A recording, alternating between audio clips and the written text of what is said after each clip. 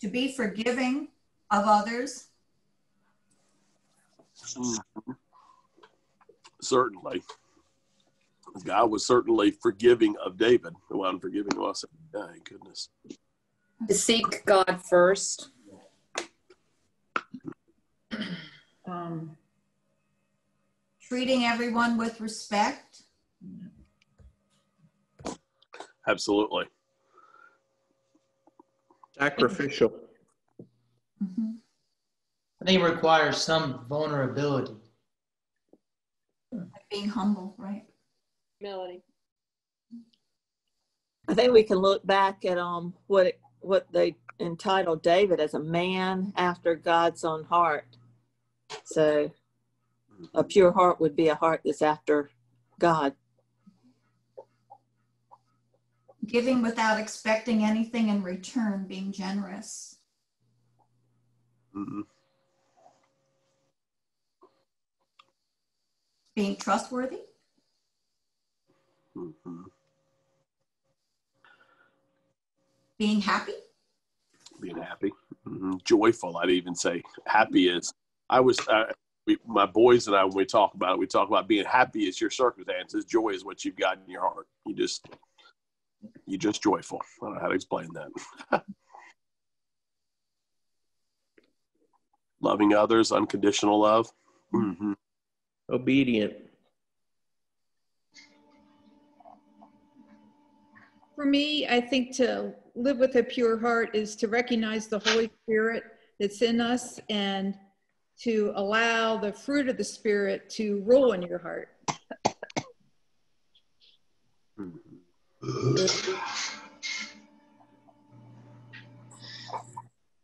This is not a talking point, but as I sat and listened to everybody give different characteristics of a pure heart, I mean, sure sounds like God's heart.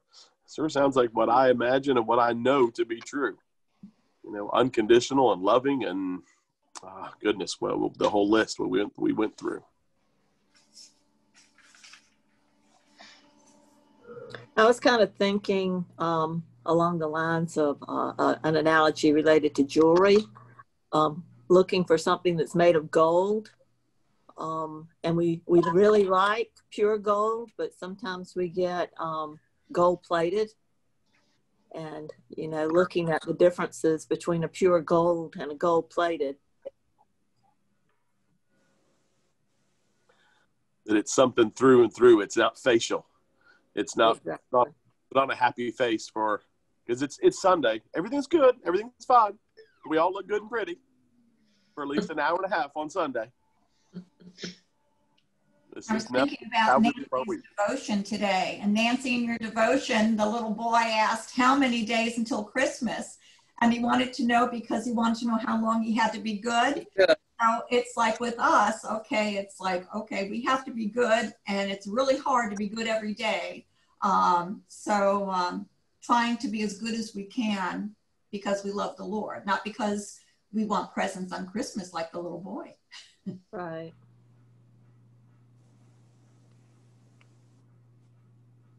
I hadn't read that yet. That's no, I don't want to open that one up. That's funny.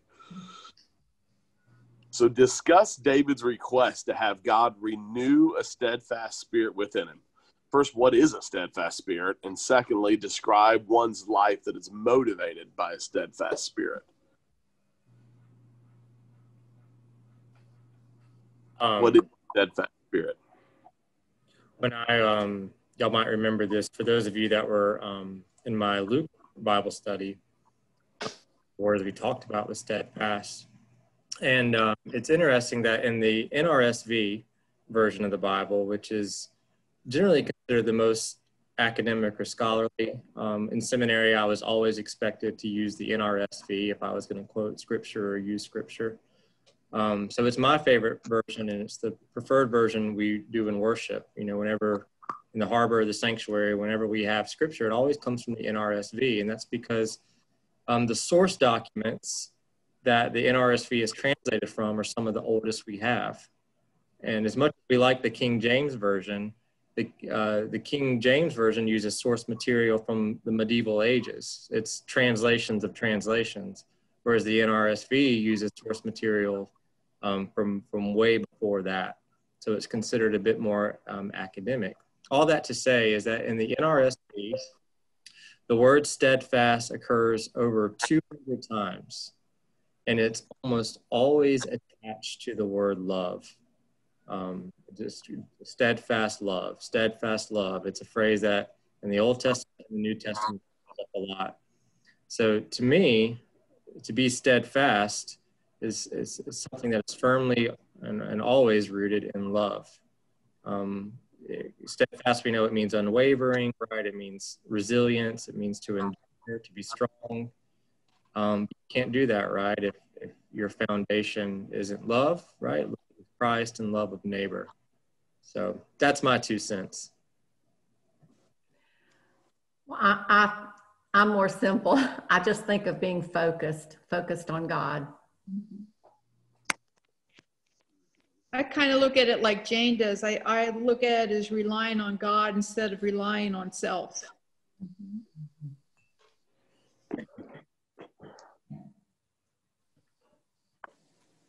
I think steadfast. Um, you keep on keeping on. Um, you don't divert. You don't get distracted. You, like Jane said, stay focused. You stay on the path. Um, kind of like taking a trip. If you um, take a side road, then you're going to take a little longer to get where you're going. If you stay on the path, you'll you'll get to your destination. Continue to learn and to grow in the spirit.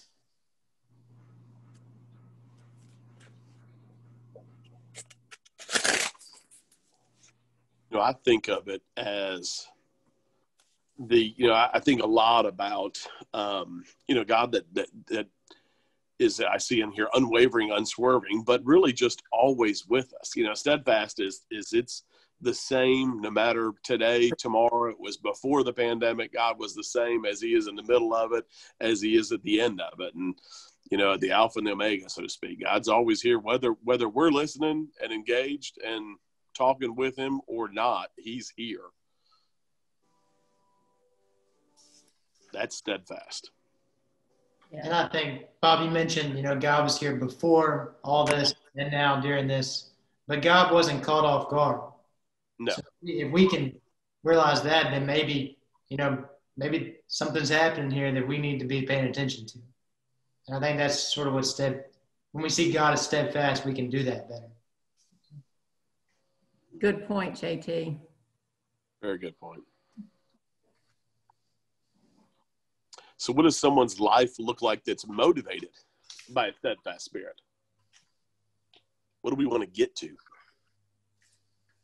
I think it's somebody that is uh, diligent in church and prayer life, devotionals, and just walking the path and uh, just you know staying focused on on the Lord and what he wants us to do and do his will too and go out and spread his word as well as his will and help people wherever you can so think it's um, looks like someone that's created some holy habits. Hmm. That's good. Good. Good phrase. I like that.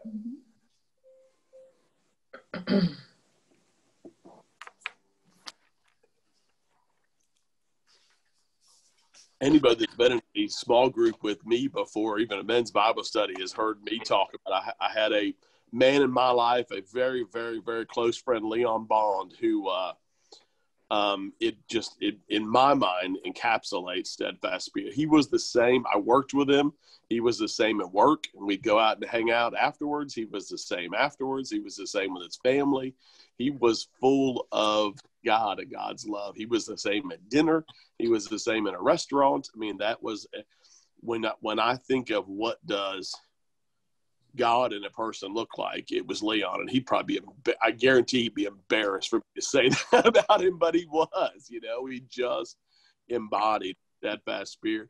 Knew that that uh, God was bigger than whatever we were tackling. Whatever way, you know, he's in the highs and the lows, and he's there. So.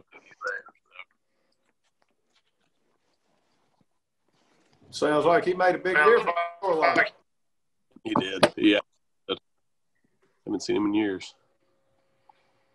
But you know, you know those people. You you you know those people when you come come across those, and you you, you think, and it's cliche to say, you know, if you're if you've got Christ in you, you should look different. And but but you do, you do when you're steadfast and joyful, and you've got God in you. you it, it comes out and looks differently to people if they're paying attention. And I think in my case, that's what I strive to be. I think I fall short in a lot of ways, but mm-hmm. and I look at other people on this call that I look up to, and uh, you know they're there, and I think I'm working there. It's a journey. Uh, you know, I'm not there by any means, but I'm getting closer. So steadfast means being committed even during difficult times, not just during good times. Uh, I, I, mentioned in uh, Men to Men last week, a good friend of mine was diagnosed with uh, leukemia and uh, well advanced. And he, he commented that he's in a win win situation. Mm. He wins if he dies, he wins if he's healed and can continue to serve the Jesus. So you know, I think being committed and steadfast during difficult times, oftentimes we waver. And being steadfast means unwavering, just like you said, Bob. What a good outlook your friend has. I mean, like win win and what yep. he's facing. And we, uh, that is great. Okay.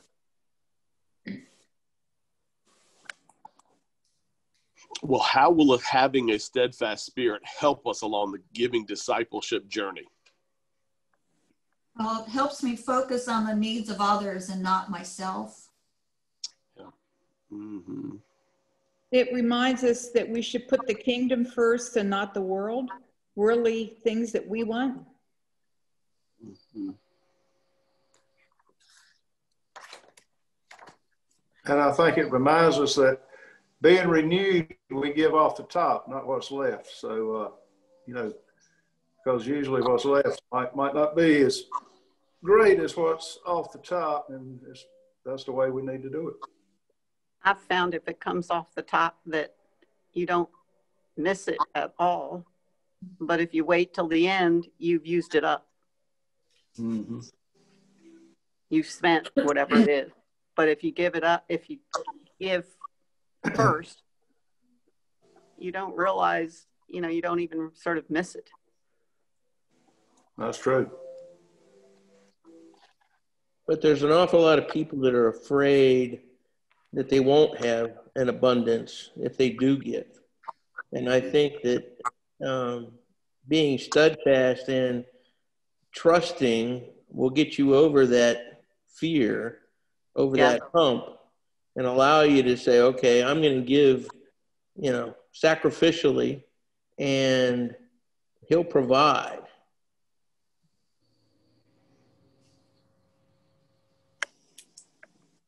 It took me a long time for my faith to be mature enough to get that.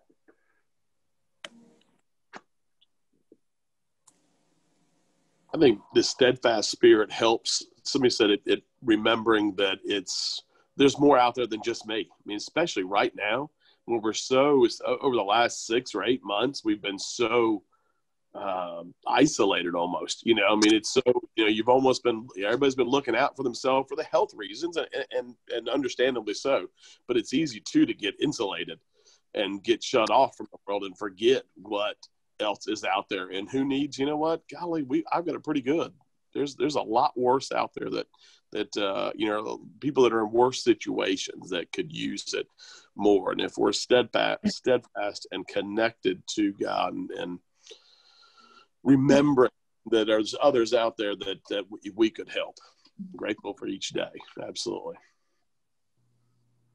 One thing I know this church did was they mentioned that if you were um, eligible to receive the stimulus check um, from the government because of COVID, that if you didn't really feel that it, you needed that check, that you could donate it to a special fund um, that was COVID related so that this church could then take those funds and specifically apply them to families that were critically affected during COVID because of their um, maybe loss of job or greatly reduced wages in their job or whatever was going on. And I know this church really um, stepped up to uh, the plate on that particular thing.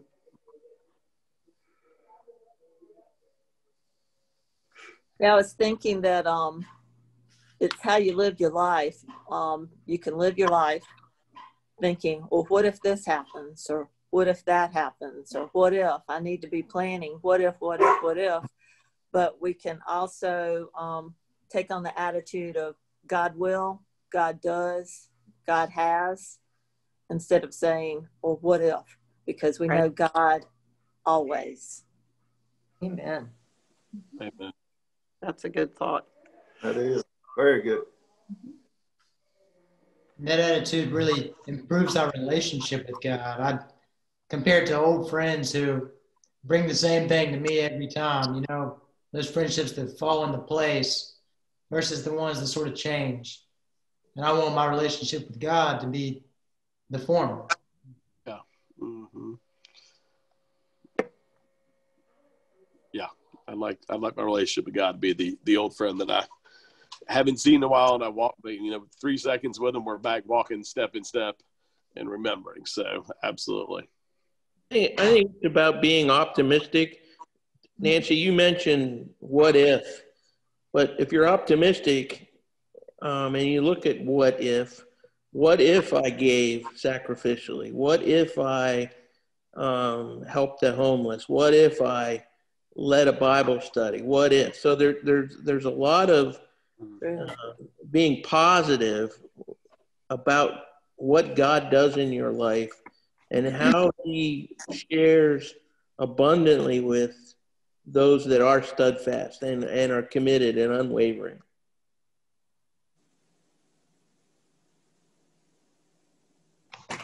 I think you're 100% right, Matt, because it's, you know, Will talked about it in today's sermon that it's, this isn't, you know, uh, all finances. This is, you know, being renewed in spirit and heart and in mind. And, and, you know, one of the, the fruits of being connected with God is, you know, we do help. We step forward and lead a Bible study. We help the homeless. We build a house. We, you know, help out. That that's the fruit of being steadfast with God. We help on the Renew project, right? or we help on that.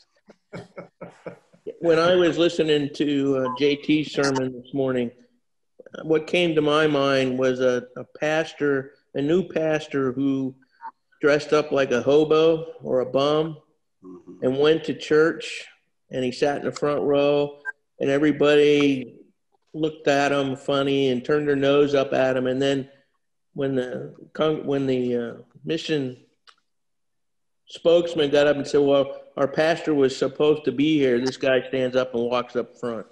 So, can you imagine how that would make the congregation feel and how that could be, hey, a, a slap in the face?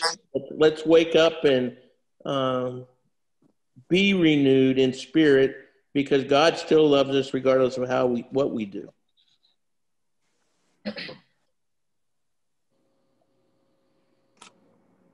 I've heard that story too. Mm-hmm. So, lastly, that kind of that kind of tied in well, Mac. We're talking about uh, describe what restored joy looks and feels like. What's restored joy look and feel like?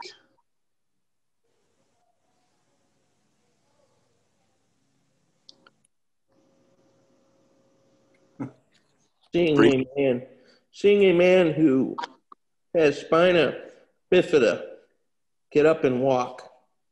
That's restored joy. It's restored a lot of things. Mm-hmm. I would I would say for myself, you know, whenever I feel the closest to God, um, it's almost always key to um, others, being in service to others, doing something with other people.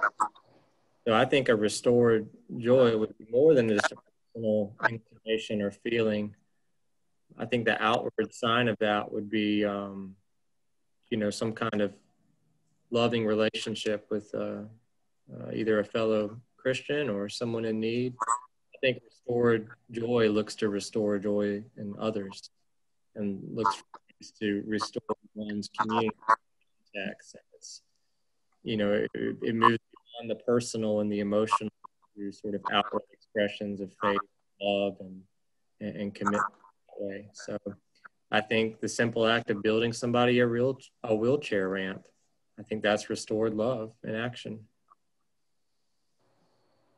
I wrote down when I thought about this this week, I said, inherent in joy is the sense of delight in God that can cause our heart to smile even when things on the outside seem to be falling apart. So um, even when things are going bad, uh, looking to God, you get joy. You have a joyful heart. I think I that also learned that um, in the Old Testament, the word joy is used 93 times. So I figured God really wants us to be joyful. Amen. I, I think about how it feels to be forgiven, to move from being ashamed. And Mm. you know, I broke somebody's window, and they said, "Well, you're forgiven." It's a really good feeling. So. You know, Pastor Will used a window in his uh, message today. And when he was uh, using it about, you know, cleaning our, um, our sinful hearts, like, you know, you're washing a dirty window. So I was thinking about God's Windex and how, you know, we can uh, use God's word uh, and know God's love uh, to kind of wash or clean the windows of our soul or to wash our heart. That's great. I like that. The um actual verse says, "Restore to me, restore to me the joy of your salvation." So I think about um, reflect back on that moment. I actually made the decision that I mm. needed Christ in my life, and try to capture what that meant at that time, and just reflect on that because so so often we get so far away from that, we take it for granted that we made that decision and that we invited Christ in our hearts and that He's been working. Hopefully, we've allowed Him to work in us and we're different in a new creation. And to reflect on that should bring us joy.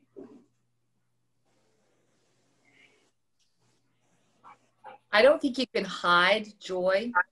So I think then it becomes apparent to those around you, whether it's your fellow Christians or those who are still lost in their sin. And I think back, I think they sang it last Sunday, they'll know they're Christians by our love. And so I think we become like a light, um, or the light that God wants us to be in this world, and it will draw other people to Him through the Holy Spirit. So I, I don't think you can suppress joy. I think it's very evident in, in how you live. Makes me think of another little song, This Little Light of Mine. Fine, yeah. Light of mine. Lots of We